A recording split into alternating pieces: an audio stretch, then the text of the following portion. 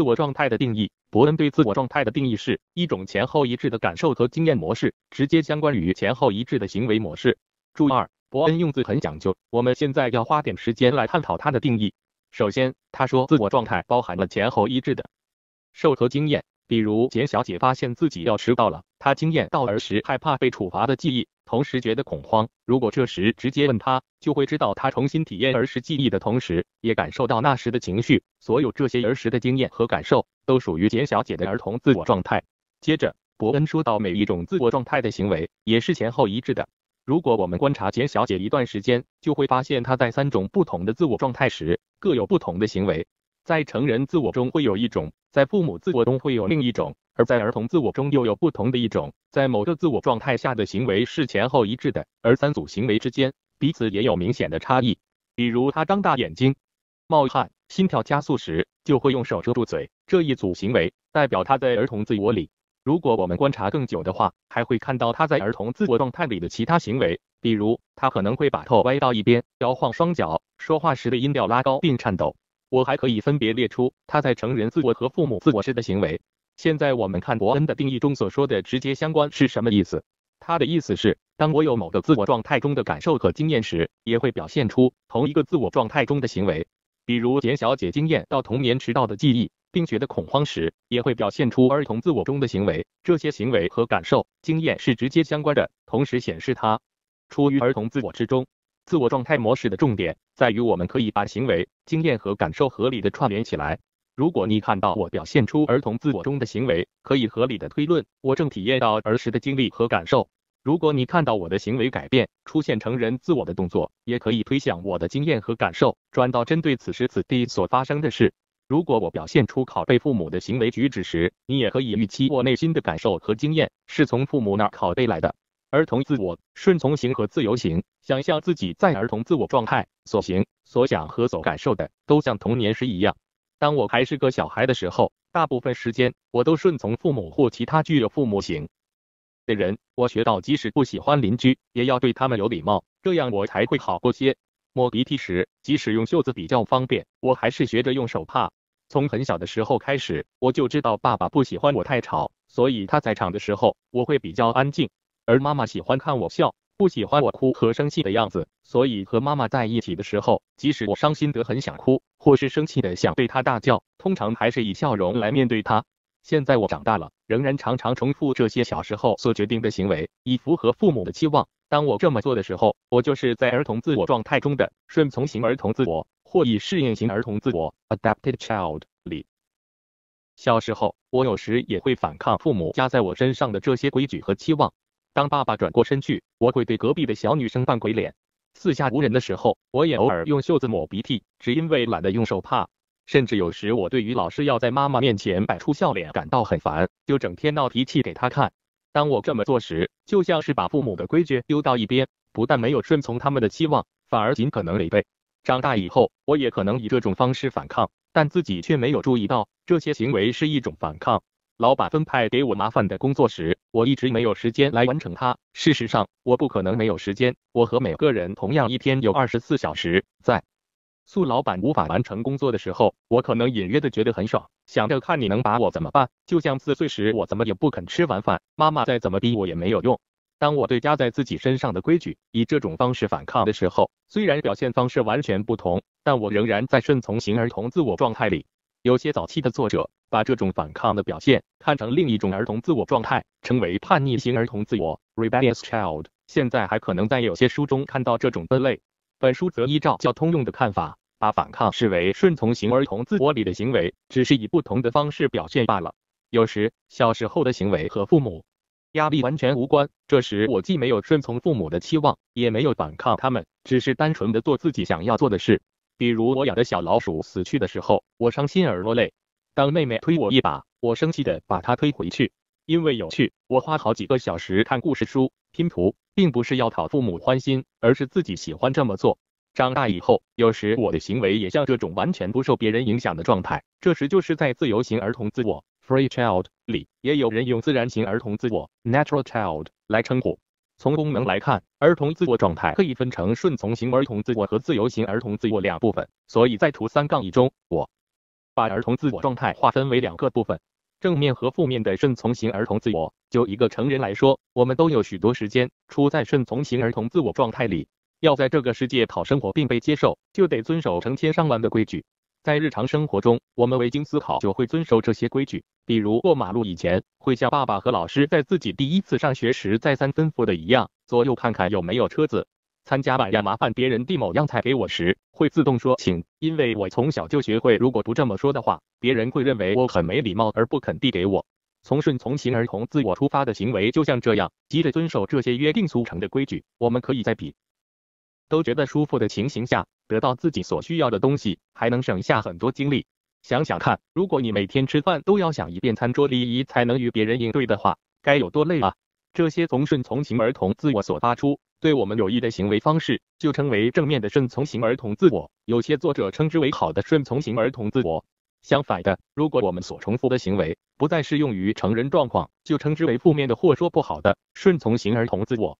小时候，我可能学到要引起父母注意最有效的方法就是闹脾气。现在我长大了，可能有时还希望急着闹脾气得到自己想要的，却忽略了就一个成人而言，只要单纯的直接提出要求就了。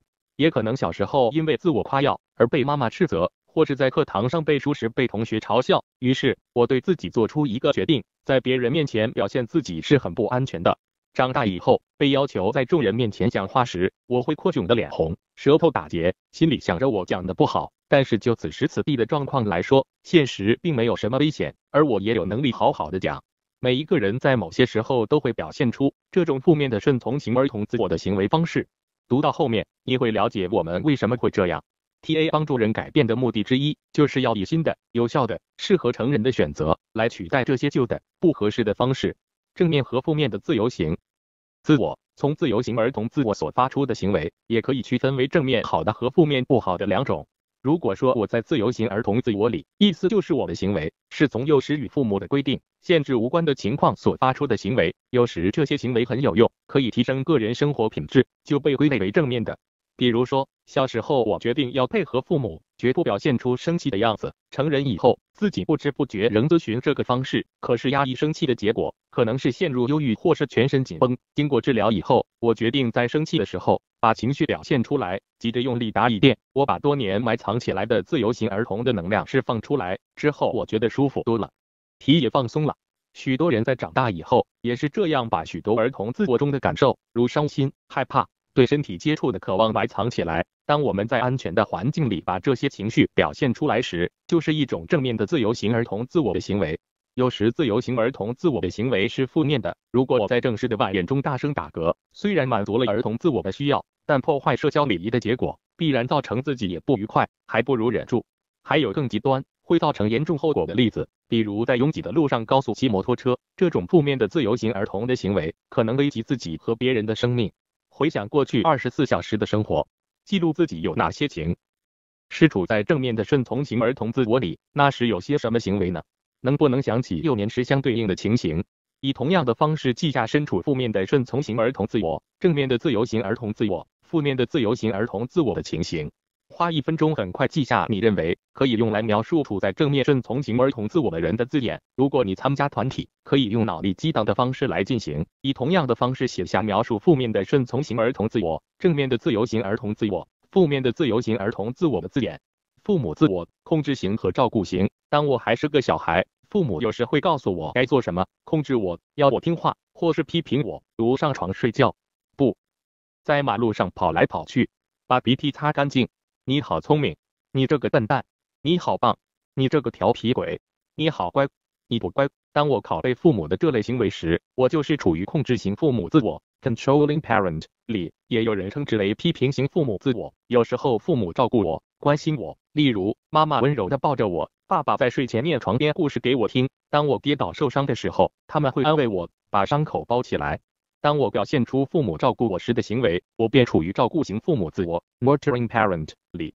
图三杠一可以看到，父母自我状态被分为两部分不同的功能，就儿童自我状态一样，正面和负面的控制型父母自我与照顾型父母自我。有些 TA 作者把这两种功能也区分出正面和负面的部分。有人用好的和不好的来区分。当我们的父母自我对别人发出的指示是真的想保护别人，或是希望别人能得到益处时，就是正面的控制型父母自我。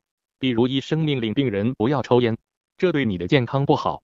这道命令就像是他父母在小时候命令他，马路上车子多，不要跑出去，太危险了。负面的控制型父母自我是指其行为隐含对别人的轻视。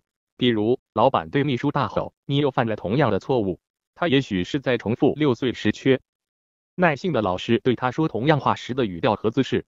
正面的照顾型父母自我会从真诚尊重的立场来帮助别人，而负面的照顾型父母自我所提供的帮助则有高高在上、漠视别人的意思。比如，同事可能需要帮助的时候，说：“这件工作需不需要协助？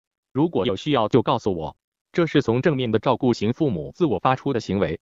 如果说我来帮你忙，然后把工作从对方手上接下来完成它，就是从负面的照顾型父母所发出的行为。所谓令人窒息的母亲，smother mother，就是负面的照顾型父母的典型例子。回想自己今天对别人表现出控制型父母自我的情形，哪是出自正面的控制型父母？哪些是出自负面的控制型父母？记不记得自己是拷贝谁的行为呢？以同样的方式回想有哪些正面和负面的照顾型父母自我的情形？花一分钟写下所有你能想到用来形容一个人处在正面的控制型父母自我时的字眼。如果在团体里，就脑力激荡一分钟，以同样的方式写下形容负面的控制型父母自我、正面的照顾型父母自我、负面的照顾型父母自我的字眼。成人自我、成人自我的并没有做进一步的区分。我们把一个人针对此时此地的所有状况，利用所有的资源而做的反应，都成为成人自我的行为。现在，把以所描述的各种功能集合起来，就是图三杠一所显示的图形。如果我想知道你正在使用哪一个自我状态的功能，必须根据你的行为来判断。所以这些功能上的分类也可以称为对行为的描述。自我图，自我状态中的不同功能对我们的人格有什么重要？杰克·杜谢 （Jack Dusay） 设计了自我图来呈现其重要性。注二，画自我图的做法如下：首先画出一条横柱，把它分成五等份。分别写上自我状态的五个主要功能，以其前缀为缩写，如控制型父母自我 （controlling parent） 可以简写为 CP，其余类推为 NP、A、F、C、AC。照顺序写上，如图三杠二。然后在每一个自我状态上面画垂直柱，其高度表示所占时间的多寡。首先画出自己判断占最多者，再画出最少者，以直觉来判断两者所占的时间差多少，由此画出两者的相对高度差距。比如，我认为自己在成人自我状态的时间最多，在照顾型父母的时间最少，就画出图三杠三，然后将另外三个自我状态照所花时间多寡的顺序来排列高低。我的自我图就像图三杠四，每个垂直柱的实际高度并不重要，主要是看彼此相对的高度差距。杜谢并没有提出把垂直柱根据正面和负面的多寡来画，但你也可以这么画，把负面的例音以表示，空白的部分则表示正面的比例。比如，我认为自己在顺从型儿童自我时，大多是遵守社会规范；在自由型儿童自我时的行为，也大多产生舒服有用的结果。虽然我很少处在照顾型父母自我里，但当我在其中时，也绝少以负面的方式让人觉得窒息。我经常表现控制型父母自我，但大多是正面的指导别人。我的自我图看起来就会像图三杠五。画出你自己的自我图，如果是在团体中，可以和别人分享自己的想法，凭直觉很快的做。有些人觉得一个自我图可以适用于不同的情形，有些人则在不同的情境下会有不同的自我图，比如在工作场合和在家里的自我图，能就不一样。你有没有这种情形呢？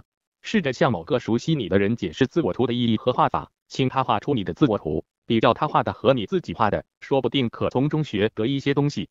恒定假说。杜谢假设有一个恒定的原则：如果某一个自我状态的强度增加，其他自我状态就会呈现代偿性地减少，就好像无论心理能量如何流动，其总量不会改变一样。杜谢认为，要改变自我图的最好方法，就是去提高想要增加的项目。这样做的时候，能量自然会从希望减少的项目流出去。比如，我想增加自己的照顾型父母，减少控制型父母，我就开始练习表现更多的照顾型父母的行为。如每天为某个人按摩背部，或是在工作上以开放式的指导代替命令，我不用可以减少控制型父母的行为。根据恒定假说，当我把更多能量放到照顾型父母自我时，控制型父母的行为自然就会减少。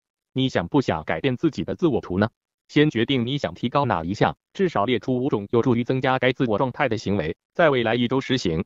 然后重画你的自我图，最好能请不知道你要改变哪一项的人来画。先不要告诉他你想要改变什么项目，在两相对照来看，你的情形是否符合恒定假说呢？